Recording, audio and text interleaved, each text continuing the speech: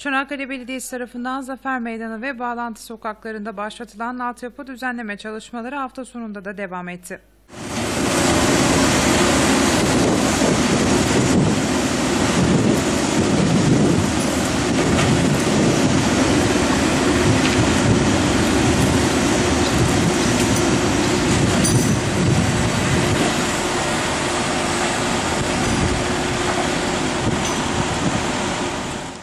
Köprübaşı Caddesi ve Nalbantlar Caddesi'nde devam eden altyapı çalışmaları tüm hızıyla devam ederken kanalizasyon hatları tamamen değiştiriliyor.